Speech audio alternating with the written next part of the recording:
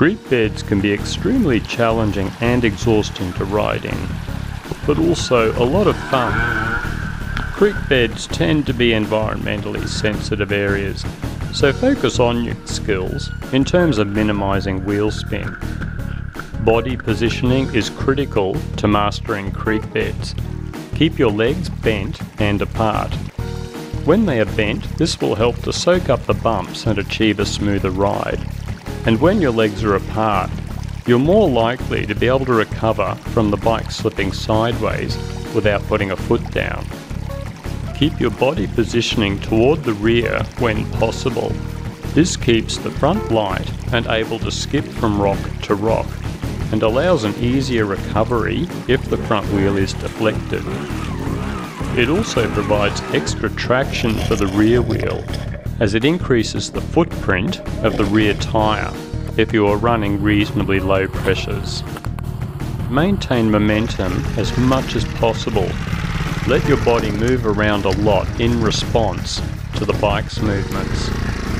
Usually the moment you start to have trouble in creek beds, it will probably be because of incorrect body positioning. Keep your turns, throttle and clutch control very smooth. Any jerky responses are likely to dislodge rocks and ensure a foot going down on the ground. Riding in a higher gear and slipping the clutch will help a lot with this. Always ride with one finger on the clutch and front brake levers.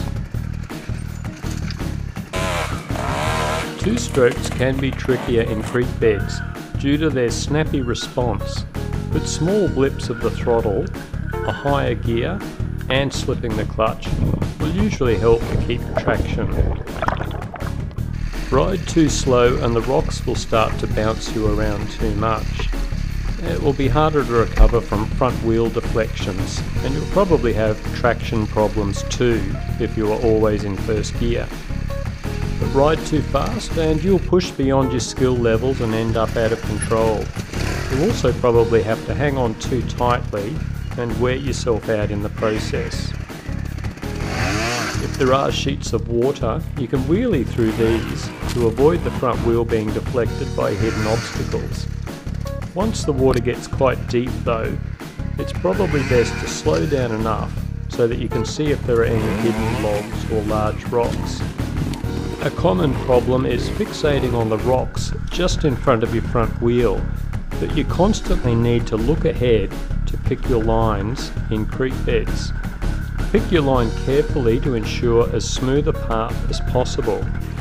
But if you do get offline, don't panic, as you'll be surprised at the size of rocks you can hit and ride over if you apply all these skills. Remember to watch the line your rear wheel will take if turning over rocks, and to back off the throttle if there's a large rock your rear wheel can't avoid and if you can pick a good line around water puddles, try doing this to keep your tyres dry for better traction. Ready to challenge yourself? Try riding creek beds deliberately slowly. This will exercise your balance, body positioning and clutch throttle control to the max.